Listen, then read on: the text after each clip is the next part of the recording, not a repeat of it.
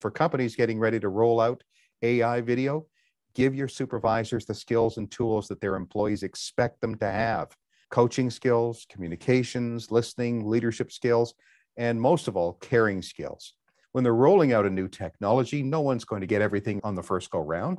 So mm-hmm. they got a plan to make the rollout educational with supervisors. Help the supervisors see how the technology helps the drivers, not the company. The company will get what it wants when they help their employees get what they want.